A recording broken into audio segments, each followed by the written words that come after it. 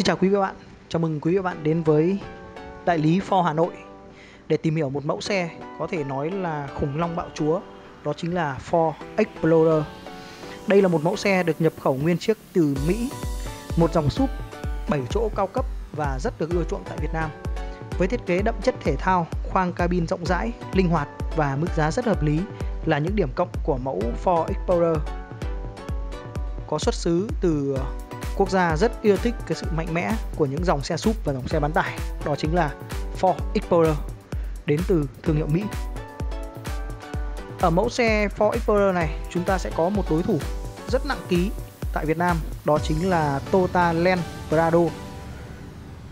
Hiện tại thì ờ, Toyota Land Prado có duy nhất một phiên bản phân phối ở Việt Nam và Ford Explorer cũng có duy nhất một phiên bản.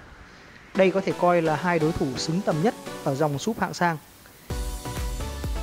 như thế này. Và hôm nay thì chúng ta sẽ cùng tìm hiểu chi tiết một chút về cái mẫu Ford Explorer. Nó có gì nổi bật và tại sao nó lại được nhiều khách hàng ưa chuộng hơn so với Toyota Land Prado không chỉ nằm ở giá bán. À, tôi sẽ nói qua một chút về ngoại thất. Thì như các bạn đang quan sát đây là một mẫu súp khá lớn và nếu mà nhìn sơ sơ thì chúng ta có cảm giác phần đầu xe nó rất giống giống một mẫu xe tiếng tăm hơn đó chính là Range Rover. Tuy nhiên thì ở cái mẫu xe Ford Explorer này, dĩ nhiên chúng ta sẽ không có được cái sự đẳng cấp và khủng khiếp như trên những mẫu Range Rover. Hiện tại với mẫu Ford Explorer 2019 này, chúng ta sẽ có một cái kích thước rất là đồ sộ với thông số dài rộng cao, lần lượt là 5037 x 2005 x 1813 mm đi cùng chiều dài cơ sở 2866 mm và khoảng sáng gầm xe lên đến 198 mm. Kết hợp với cái thân hình đồ sộ này thì các bạn có thể thấy thật sự là một con khủng long với những cái đường nét gãy gọn, dứt khoát và xuất hiện xuyên suốt tổng thể của thiết kế.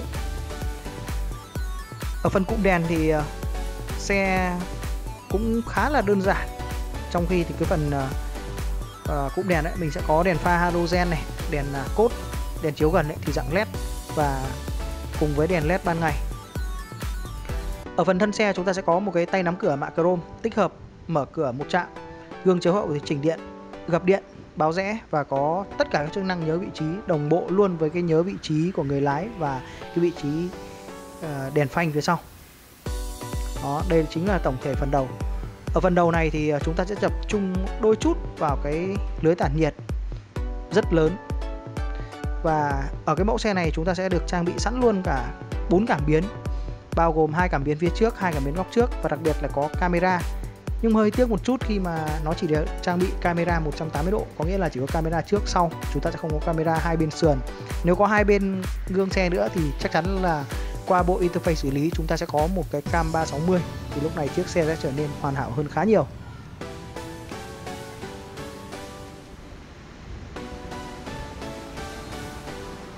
Đó, đây chính là thiết kế phần tổng thể của xe.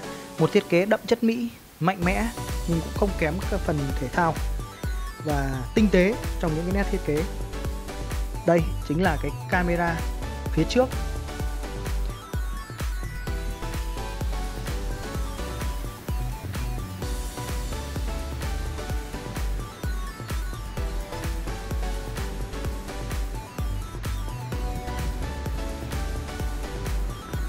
Chiếc xe này thì à, được đánh giá rất cao về cái độ rộng rãi cũng như là hệ thống khung gầm và đặc biệt là cái cảm giác lái.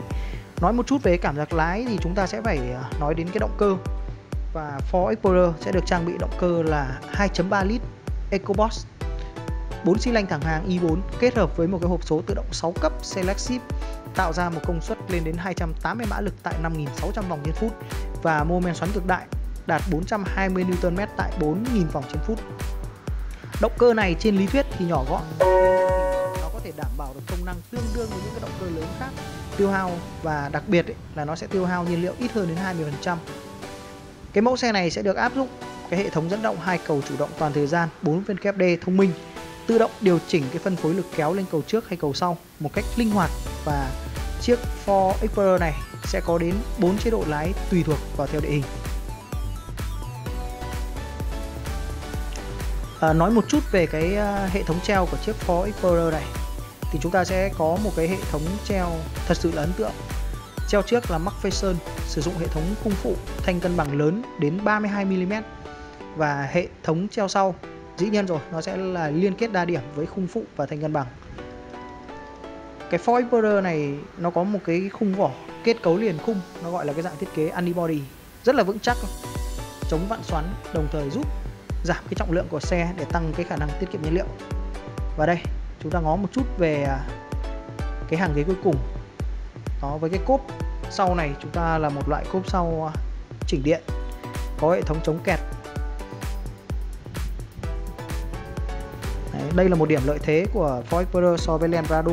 Khi mà Land Prado thì chỉ có cái dạng cốp cơ truyền thống thôi. Bây giờ hãy cùng à, ngó một chút qua cái hàng ghế thứ hai. Ở cái hàng ghế thứ hai này các bạn thấy một cái à, thiết kế rất là rộng rãi có đủ ba cái tựa đầu. Và chiếc xe này thì còn có sẵn cả hai cái màn hình DVD gối đầu nhé kèm theo cái tai nghe không dây. Đó. Hàng ghế này thì có thể trượt và gập tỷ lệ 60 40 tuy nhiên thì chỉ là gập cơ học thôi. À, khi cần thiết ấy, các bạn có thể gập hoàn toàn gập quận về phía trước để cho người trong hàng ghế thứ ba có thể dễ dàng lên xuống hơn. Đối với cái hàng ghế thứ hai thì thật sự là không có nhiều điều để nói hàng ghế thứ ba của Ford Explorer thì thật sự là nó sẽ thoải mái nhưng mà chỉ dành cho những người cao khoảng 1m70 thôi. Và nó có thể gập 50 50 bằng các nút gập điện hoặc là có thể gập tựa lưng 90 độ. Ngoài ra thì nó cũng có khả năng gập hoàn toàn xuống sàn đó, để mở rộng cái không gian chứa đồ. Về cái khoang hành lý tiêu chuẩn thì có sức chứa lên đến 596 lít. Và nếu mà bạn gập hết ghế xuống thì nó lên đến 2314 lít. Nói tóm lại là cân được hết tất cả các loại hành lý luôn và đây chính là cái khoang cabin. Ở mẫu xe này thì à, rất ấn tượng. Đó chính là nằm ở cái à, cần số và vô lăng. Một cái thiết kế đậm chất thể thao của Mỹ, mạnh mẽ, to, khỏe, cái gì cũng to. Đó, và vô lăng thì được thiết kế ba chấu, khác một chút so với cái kiểu bốn chấu trên à, những cái mẫu Forenger tích hợp một loạt các nút bấm chức năng luôn. Đàm thoại rảnh tay cruise control điều chỉnh, âm lượng. Nói chung là đầy đủ hết. Đấy, đáng lưu ý một chút là cái lẫy chuyển số trên vô lăng thì bây giờ đã được chuyển đến cần số rồi. Cái này thì tôi cũng không biết là nó các bạn có thích nó hay không. Tuy nhiên thì nếu mà chuyển xuống cần số như thế này thì vẫn lại là cái việc quen thuộc cộng trừ nó gần giống như cái cái thiết kế kiểu đấm số trên những cái xe Toyota